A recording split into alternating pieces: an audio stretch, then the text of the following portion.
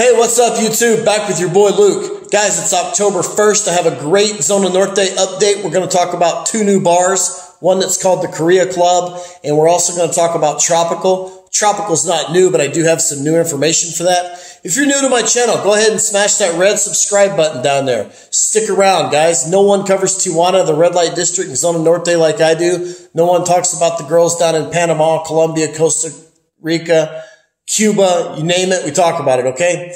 So go ahead and smash that red subscribe button. All right, guys, jumping right into this video. So a friend of mine went to the tropical bar down in Tijuana the other day, and he told me that he was absolutely amazed at the strides and the progress that they're making at tropical.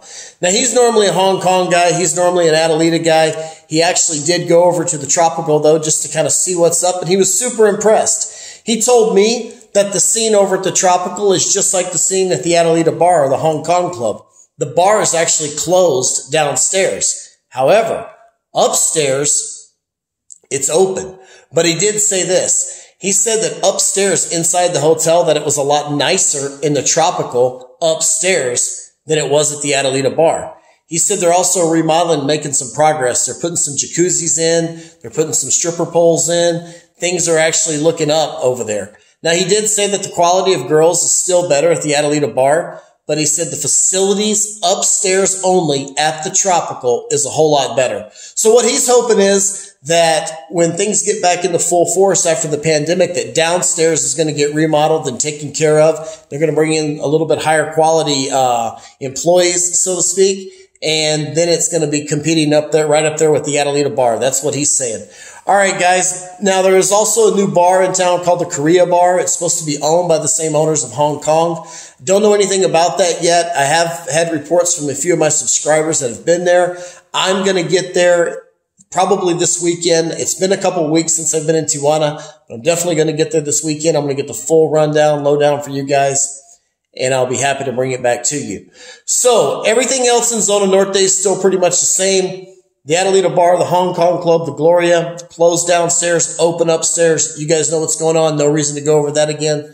Hong Kong, I've gotten a lot of reports from you guys the last couple weeks that say the seventh floor at the HK Club has been absolutely out of control. Okay, so check that out. If you're watching these videos and you're wondering, do you go to Tijuana? Should you not go to Tijuana? Is there essential travel? Is there not essential travel? Guys, there is no essential travel. Go to Tijuana. Well, there's no essential travel being enforced. Go to Tijuana, have a good time. You're going to go to the Hong Kong club, the Adelita bar, the tropical, wherever you go. If you like to party with the street girls, they're all standing right there with little masks on. You're going to have a great time. Okay. All right, guys, I'm going to end this video by telling you guys a story that I've also told in the live stream before. Now, if you've already heard this story, I would still appreciate you sticking around, watching this video till the end because it really helps me with YouTube algorithm. If you haven't heard this story before, it absolutely rocks and I'm going to tell you about it. Here's the deal. I'm on my way to Costa Rica. I'm on my way to the world famous Blue Marlin Bar in Costa Rica. This is about two years ago. And if you don't know about the Blue Marlin Bar, I highly suggest that you Google it or you check out my video on the Blue Marlin Bar. Anyways, I'm supposed to be flying out of LAX. Like a dumbass, I got the days confused. I showed up the wrong day at LAX. They told me that I missed my flight. It was actually the day before because it was like a one o'clock in the morning, two o'clock in the morning deal. So even though I missed the flight by a day, I was actually only three or four hours late. So anyway, they said, we'll reroute you through Miami. Well, I'm pissed off because I have to go get rerouted through Miami and I've also lost my first class ticket.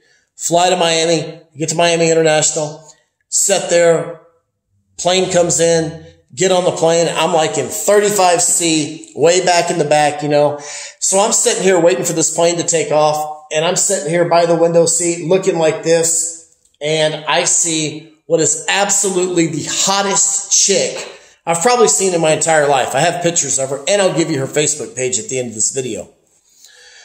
And she's way up at the front of the plane. She's just walked past the first class curtains. And I'm like, holy smokes, this girl's hot. Well, of course, she gets closer and closer, closer and closer. And I'm thinking, no way. What are the odds? I can't get this lucky. There's no way this chick's going to sit beside me.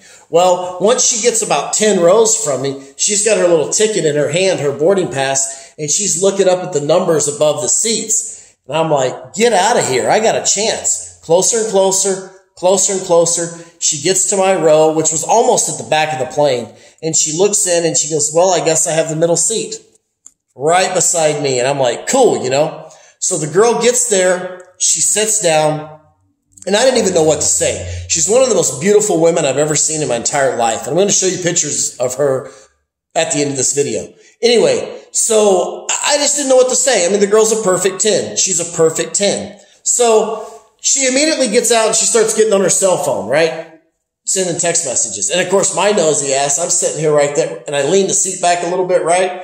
And I'm kind of checking out her text messages. Well, I was reading her text messages and I could not believe what I was reading. She was texting about three different guys some very, very explicit sexual things. Things that she wanted to do, the type of lube she wanted to use. I mean, this girl was a super freak. I mean, I couldn't believe what I was reading. And the funny thing was is she was texting basically the same thing to all three guys. And I'm sitting here trying to figure this out, right? I'm like, what in the hell is going on? So, of course, everybody gets on the plane. The flight attendant's going through the safety instructions of, you know, put the oxygen mask on you before you secure it on each small child. All this BS, right? And this girl's just texting, boom, boom, boom, boom, boom. And these guys are agreeing to meet her like Friday night or next Saturday night. Another guy's flying in on Sunday night. And I'm thinking, oh my God, this chick is a professional.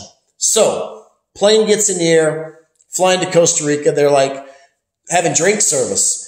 Waitress comes up, flight attendant, whatever you want to call her. She comes up. She's like, what do you guys want to drink? This girl's like, orange she's and vodka. And she's just shaking. I mean, she's real high strung, right? And I'm like, holy smokes, I'll take a Bacardi and Coke double. So when the drinks got there we started drinking, I started talking to the girl.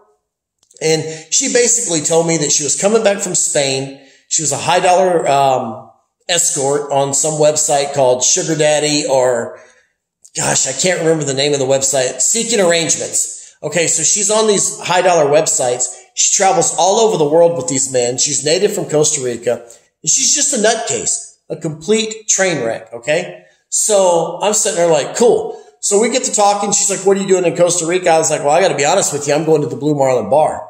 And she's like, Oh my God, I got a couple friends that work there. This is going to be so fun. Let's go party. Yada, yada, yada. So as we're flying to Costa Rica, she's getting drunker and drunker, drunker and drunker. And she's telling me about all the parties that she does, all the crazy shit she does. And she goes, it's so nice to meet a guy like you who actually understands the business and he seems so fun, blah, blah, blah. She goes, by the way, do you have a ride to the Blue Marlin bar? I said, no, I don't. She goes, well, we got to get my friend Natalie, who's also on my Facebook. Check out the girl on my Facebook, Natalie Guzman. She was like, we'll get my friend Natalie to pick you up at the airport because she's picking me up and we'll give you a ride to the bar. I was like, okay, cool. Anyways, guys, long story short, I wind up getting in the car once I get to Costa Rica with this girl and her friend. And I'm not going to lie to you and say that, you know, we did it because we didn't, but it was still fun. It was a great time. The party was out of control and they actually introduced me to a couple of their friends and it did go down with a couple of their friends. Okay. So anyways, you never know what you're going to run into. It was just my luck. It was totally fun. I have them both on Facebook. If you're looking for her on Facebook, Sheyer, S-H-E-Y-E-R, Sheyer, E-R is what you go, two different words. Okay. That's where you can find her. I'm not going to tell you her real name because I'm going to pr- protect that. But uh, also her friend is Natalie on my Facebook. That's not her real name either, but she's Natalie Guzman on my Facebook. So if you guys want to see what's up in Costa Rica, the Blue Marlin Bar or whatever, hit me up. I hope you enjoyed this update. Guys, take it easy. By the way, it's 2.39 in the morning, and I know I've been slacking on my videos, but hey, it's not easy being a YouTuber, right? You guys take it easy. Peace out.